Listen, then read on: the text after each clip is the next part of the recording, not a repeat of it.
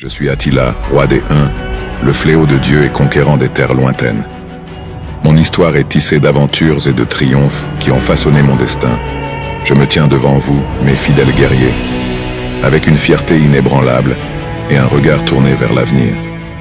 Depuis ma jeunesse, j'ai affronté d'innombrables défis que j'ai surmontés sans jamais vaciller. J'ai guidé mon peuple à travers des contrées sauvages, des déserts impitoyables et des batailles inoubliables. Ensemble, nous avons surmonté tous les tsunamis de la vie. Les murs des cités sont tombés sous l'impact de nos assauts. Les légions romaines se sont inclinées devant notre incommensurable puissance. Des nations entières ont tremblé à l'approche de nos cavaliers implacables. Mon nom, Attila, est devenu synonyme de terreur et de respect à travers le monde. C'est pourquoi on me surnomme encore aujourd'hui le fléau de Dieu. Là où je suis passé, l'herbe n'a plus jamais repoussé. Je suis l'élu de la destinée l'instrument de la volonté divine, choisi pour punir les empires orgueilleux et affaiblis, et pour rappeler au monde la fragilité de ses prétentions à la grandeur.